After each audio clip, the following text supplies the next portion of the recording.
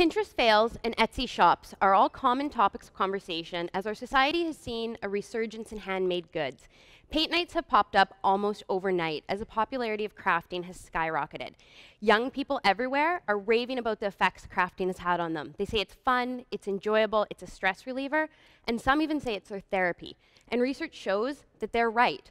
Research into participation in the arts shows that those who participate have an increase in health and wellness. While participating, they have a decrease in pain, negative thoughts, and negative feelings. And furthermore, those who participate in the arts have an increase in social inclusion, social interaction, and social support networks. Now imagine being excluded, unable to participate in the arts, unable to reap the rewards. For those who receive social support and funding in society, they often can't access the arts. Often case plans for those mar marginalized in society don't go further than meeting their basic needs. But as a social worker, I feel it's important that we go past meeting people's basic needs and we provide them with an overall quality of life. And that is why, for my thesis, I focused on the creation and facilitation of a textile based art group for people who self identify as disabled. I then researched the results of participation in that group had on their subjective health and wellness. I asked participants to tell me in their own words how it made them feel.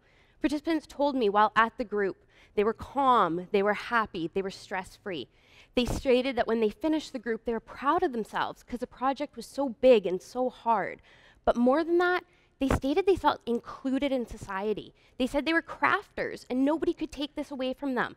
They had met new people, they had built their social support system, and they felt that this group had really helped them. Now imagine the effects of regular participation in the arts if nine weeks renders such positive outcomes for clientele.